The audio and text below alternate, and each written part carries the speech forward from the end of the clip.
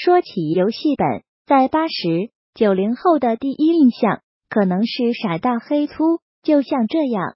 游戏本拥有优秀的性能，只可惜它的散热和便携一直是非常大的问题，又黑又硬笔记本的标配。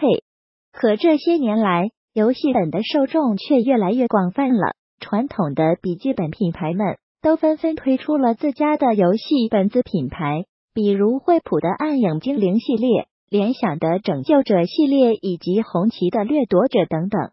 从冷门到热门，从小众到被人们所熟知。回顾整个游戏本的发展历史，托尼觉得有那么几个节点应该被像你我一样喜爱硬件的人熟知。惠普游戏本系列的暗影精灵，第一台外星人发布于二零零二年四月，采用了奔腾四二点八 G CPU，五百一十二兆内存以及 ATR 二 A D E O N 九千移动版独立显卡。要知道，当时主流的台式机配置。才是奔腾四一点八 G NVIDIA GeForce 二 E 二 MX 四百的显卡，这种吊打搭配基本上可以通吃当时市面上的所有游戏了。传说中的第一台外星人，当然了，它的价格也明显能够吊打其他友商，高达两千九百美元，按照当时的汇率计算，大概要两万三千多人民币。过高的价格买得起的人少，成本降不下来。过高的价格，这仿佛是一个死循环。游戏本在市场的边缘兜兜转转，停不下来。真正打破僵局，将游戏本这个概念带给更多玩家的，应该是在神州的战神系列推出之后。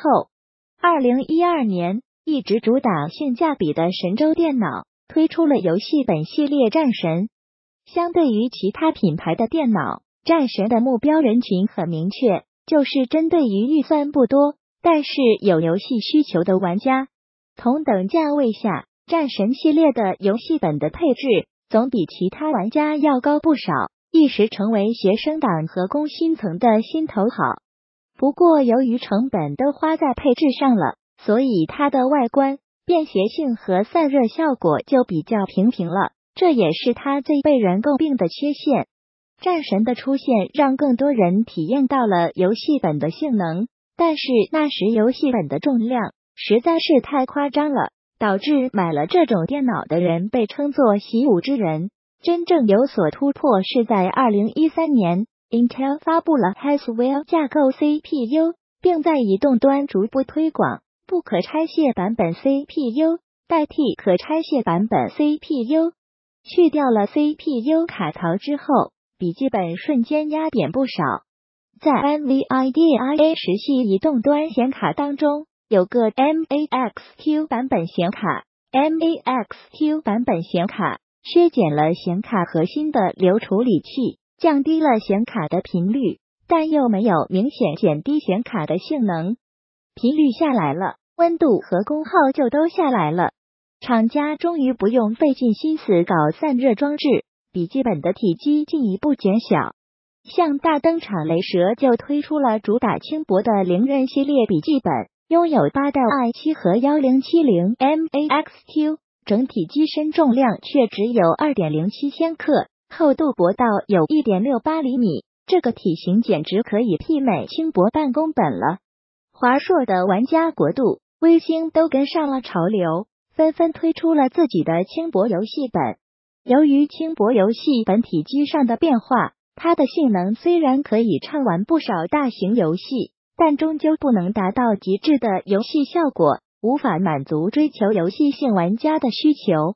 他们的需求催生了笔记本另外一种形态。这些游戏本以追求极致性能为终极目标。代表选手有蓝天、微星的高端准系统。前面提到的神州有很大一部分采用的就是蓝天准系统模具，厂家丧心病狂的在游戏本里堆上可拆卸更换的台式机 CPU，破解 NVIDIA 在普通显卡里的功耗强，加装奢华冷却系统，甚至还有电竞屏和机械键盘。如果游戏玩家不满足的话，还可以自己更换 CPU 和显卡。总之，一切以性能优先。如果你的便携要求不那么高，平时可以把电脑当台式机用，但你玩的游戏对电脑性能要求又很高，那么这类游戏本是你不错的选择。如今，很多人对于游戏本的定位产生了疑问。随着轻薄型笔记本的性能越来越出色，游戏本的定位开始变得模糊。毕竟，不是谁都愿意背着一块砖出门的。条件允许的话，托尼还是建议大家打游戏买台式主机，出门带一台轻薄型的笔记本，这样不管是在价格还是实用性上，都比单独一台游戏本要强得多。毕竟扛台性能过硬的游戏本出门，和扛台主机也就差了个显示器。参考资料。中关村在线神州电脑发展史，中关村在线游戏本死中必看 Alienware 笔记本发展史。